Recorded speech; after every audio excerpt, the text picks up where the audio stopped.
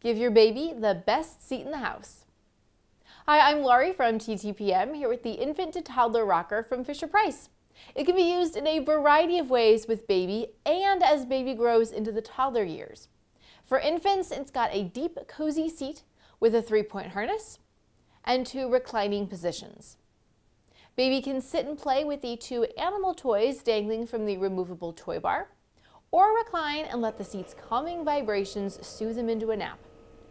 The fold-out kickstand turns this rocker into a stationary seat, which is perfect for feeding. As baby gets older, you can remove the toy bar and the harness to give your toddler a simple rocking chair of his own, complete with the same soft seat and calming vibrations. There's a maximum weight limit of 40 pounds. Adult assembly is required and took us 15 minutes to do. You will need two C batteries, which are not included. Many parents today are looking for a multifunction baby gear, and the infant to toddler rocker definitely fits the bill.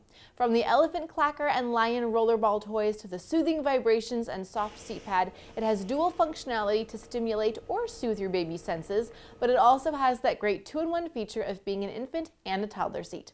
And the clean white base and geometric pattern means that parents probably won't mind keeping this baby product out in their house for such a long time. For where to buy and current prices, visit TTPM and subscribe to our YouTube channels for more reviews every day.